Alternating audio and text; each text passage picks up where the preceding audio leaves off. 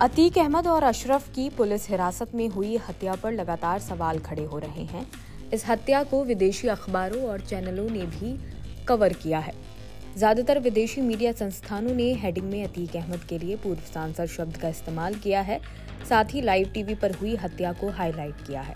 कई संस्थानों ने हत्या के दौरान आरोपियों द्वारा लगाए गए जय श्री राम के नारों का भी ज़िक्र किया है। ब्रिटिश अखबार द गार्डियन ने इस खबर को कवर किया है। लिखा, भारत में पूर्व सांसद और उसके भाई की लाइव टीवी पर गोली मारकर हत्या कर दी गई। अतीक जेल में उम्र कैद की सजा काट रहे थे। उनके भाई अशरफ पुलिस हिरासत में थे। आरोपियों ने 20 राउंड फायरिंग की और एक दम से ही सरेंडर कर दिया। उसके बाद जय श्री राम के नारे लगाए।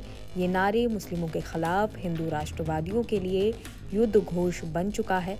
इसके अलावा अखबार सुप्रीम कोर्ट में दाखिल याचिका का भी ज़िक्र करता है।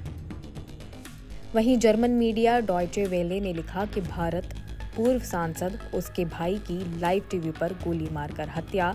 जिस समय यह हत्या की गई, उस समय पुलिस उन्हें मेडिकल के लिए लेकर जा रही थी। यह हमला प्रयागराज में हुआ है। घटना की फुटेज में दिखाई देता है कि अपराधी हमले के बाद हिंदूवादी नारे लगा रहे हैं। साथ ही डीडब्ल्यू ने लिखा कि दोनों पीड़ित भारत के मुस्लिम अल्पसंख्यक समुदाय से थे। अल जजीरा ने भी इस खबर को जगह दी है। उन्होंने लिखा पूर्व सांसद और उसके भाई की पुलिस हिरासत के दौरान हत्या। उत्तर प्रदेश में कानून व्यवस्था पर सवाल उठा रही है।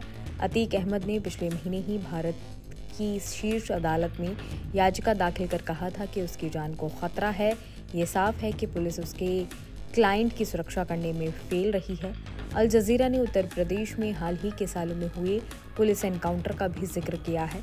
स्टोरी में भारत के राजनेताओं पर दर्ज सैकड़ों केस की भी चर्चा की गई है। आगे लिखा है कि 2017 में बीजेपी सरकार आने के बाद यूपी के मुख्यमंत्री योगी आदित्यनाथ के खिलाफ दर्ज कई केस हटा लिए गए थे। इसके अलावा ब्रिटिश मीडिया बीबीसी ने भी इस खबर को जगह दी है।